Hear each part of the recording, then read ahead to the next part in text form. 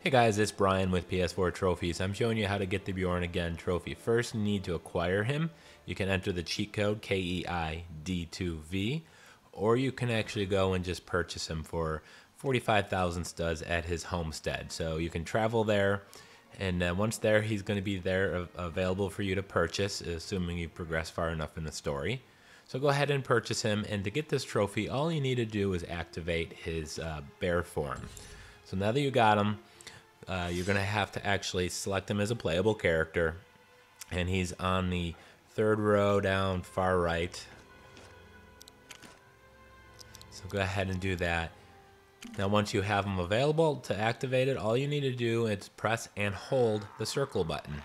Just like you use for everything else pretty much in this game. So that's it. You are now a bear. So go wreck uh, some havoc. And thank you guys for watching. Please like, comment, and subscribe.